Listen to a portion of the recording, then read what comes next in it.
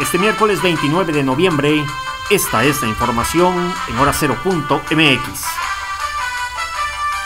Personas con discapacidad auditiva denuncian discriminación en Jalapa.